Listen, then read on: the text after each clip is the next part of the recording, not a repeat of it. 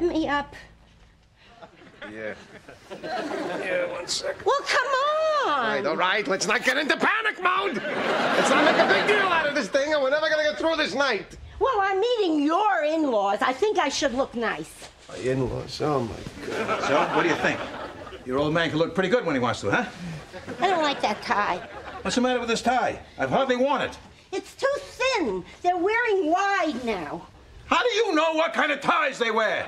Go to any office building on 7th Avenue and tell me if there's anyone there wearing a thin tie like that. Go ahead. Oh, get the hell out of here. Seventh Avenue. George, do you think he should wear a tie like that?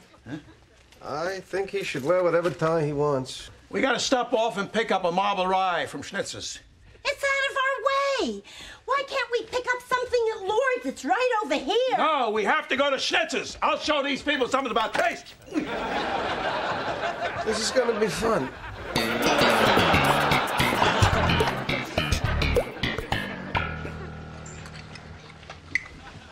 This was delicious, Mrs. Ross. What are you complimenting her for? She didn't make it. Rowena did.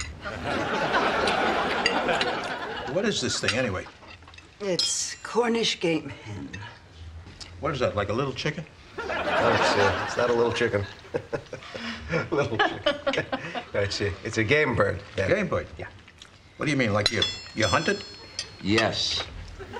How hard can it be to kill this thing? I couldn't help but notice, but you have quite a library in there. If I had a dime for every book he's actually read, I'd be broke. More wine, anyone? Yeah, I'll take it. Thank you. How do you like the Merlot? Merlot, I never heard of it. Did they just invent it? Oh, brother. She's, uh, she's heard of the Merlot. Let me understand.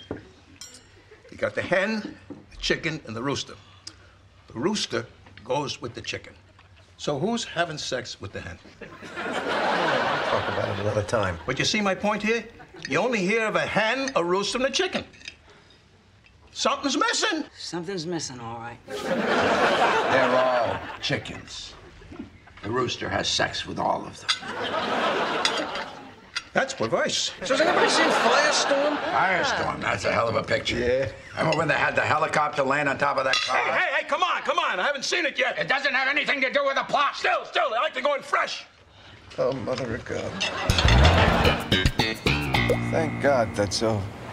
The mother seems to hit the sauce pretty hard. I didn't like that. And who doesn't serve cake after a meal? What kind of people would kill them to put out a pound cake? Something.